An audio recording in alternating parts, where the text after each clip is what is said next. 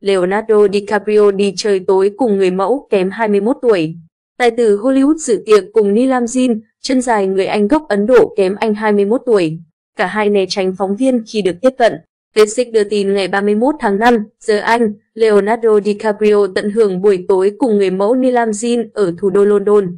Họ được nhìn thấy rời khỏi khách sạn sang trọng Chiltern Firehouse vào tối muộn. Như thường lệ, tài tử hàng đầu Hollywood ăn mặc giản dị, đeo khẩu trang và đội mũ để tránh sự chú ý của paparazzi. Mẹ của Leo là bà Ermeline Indenburgen, cũng có mặt. Indenburgen đi trước và người mẫu Jin tiếp bước theo sau. Tuần trước, sao One Upon a Hollywood và Jin được bắt gặp rời khách sạn Martinet ở Cannes, Pháp cùng một số người khác. Họ có mối quan hệ thân thiết trong thời gian này.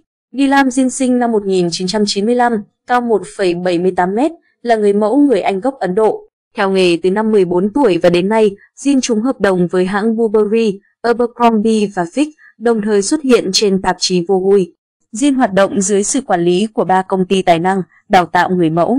Theo Basic, Jin là một trong số nhiều chân dài gợi cảm đi chơi cùng Leo sau khi tài tử chia tay Camila Moron vào tháng 8 năm 2022. Trước đó, anh gặp gỡ Eden Polani, Victoria Lamas, Gigi Hadid. Trong đó, Hadid và Leo vướng tin đồn yêu nhau, chia tay và tái hợp.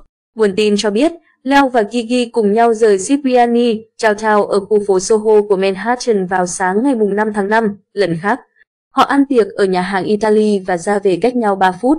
Người trong cuộc hiện chưa lên tiếng về tin đồn này.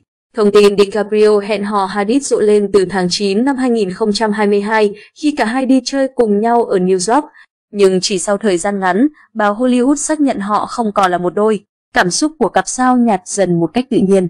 Về lý do không tiến xa hơn, nguồn tin nói do cả hai có những quan điểm sống khác biệt, ngã rẽ cuộc đời không giống nhau. Thêm nữa, trong quá trình tình hiểu giữa người mẫu 28 tuổi và tài tử từng giành giải Oscar xảy ra những chuyện không suôn sẻ.